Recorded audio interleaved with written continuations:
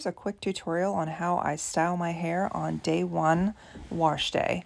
I take my dry shampoo by Redken. It's the super dry shampoo. I love, love, love this stuff. I spray a good amount all over my roots and then I section my hair. And then I go in with my Conair. This is a half inch uh, clip curling iron. And I take small sections here and I just, you know, start at the bottom section and work my way around the head, twisting it around the iron, not clipping it. That's the key. So I just twist it instead of clipping it. And you can see what fun curls you get when you do it that way. and once I have the bottom section done, I move on to the next section, the middle section. I start at my temples and then I Take that curling iron, I wrap it around.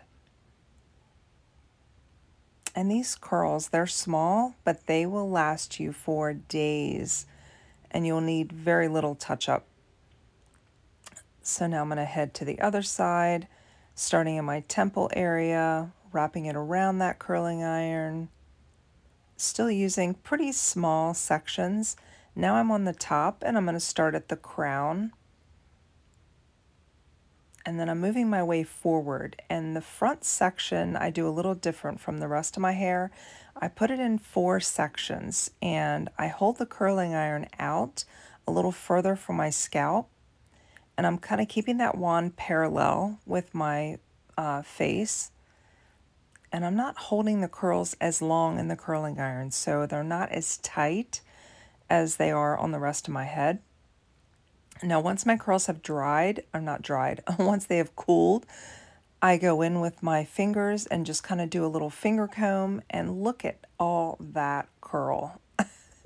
it's a lot, but like I said, these curls will last you for days and they will relax into the prettiest curl. Now I go in with my Expanda Dust. This is by Unite and I just pop a little bit of that in the crown and it really gives me a little extra lift.